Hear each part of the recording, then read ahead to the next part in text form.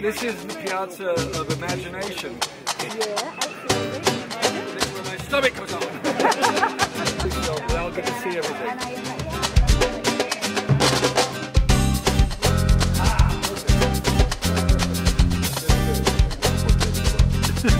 No, thank you. Grazie.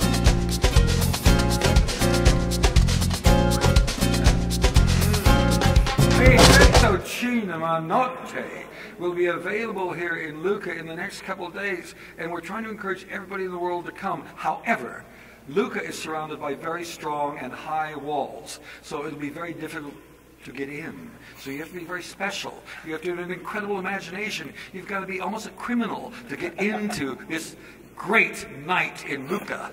So good luck to the strong, the intelligent, the imagination, the imaginative people. The rest of you, just stay home. Watch your watch your videos. You know, be lazy like everybody else. Get fat and ugly and die soon.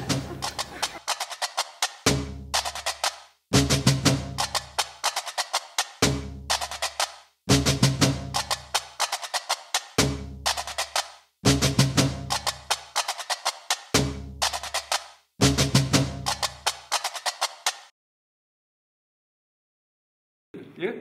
Are you going to make the film? Yeah. Are you?